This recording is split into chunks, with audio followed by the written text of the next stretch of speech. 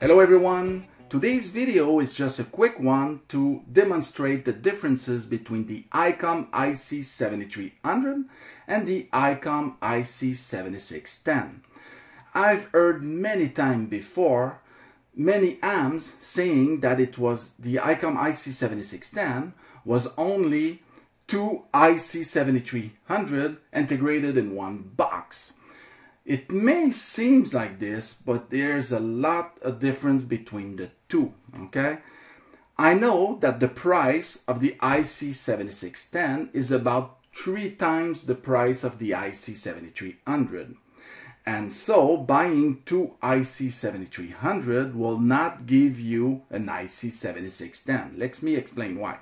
First, the receivers are different between the two, okay? You can just look at the brochure from ICOM of the IC7610 and they show you the differences between the two radio. If you buy two IC7300 and put it side by side and want to use one as a sub VFO, then adds up the complexity because when you're going to transmit with one, you don't want to blow up the other. So you will need a system to share the antenna and protect the other receiver when you transmit. Also, you will need to put the second use as a receiver into TX inhibit because you you can't transmit into the antenna system you know with the other by just you know touching the transmit button or something and you can blow up the other receiver.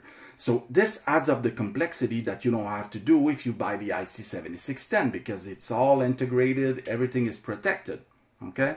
I have that in the past with two transceivers that I use one with a sub VFO and it costs many several hundred dollars okay to be able to do so correctly and safely. So that's one thing. The second thing you have a large LCD display on the ICOM 7610 so even though if you have two ICOM IC 7300 which are great okay you still have a 4.3 inch screen even though you have two okay but you have everything integrated into the ICOM IC7610 there's also a few bells and whistles more into the 7610 and there is more buttons so more accessible if you do DX or if you want to have you know things right on end it's easier to operate for more serious DXer let's put it that way okay the other thing is the ICOM IC7610 has a LAN interface that allows you to do remote without having a computer turned on in the shack because the RSBA1 server is integrated into the radio. You don't have that on the ICOM IC7300. If you want to operate remotely the 7300, then you will need a computer on with the software from ICOM to be able to connect at a distance and there's many many other things like antenna ports and you know it's all so if you look at that I think the IC7610 is a better deal.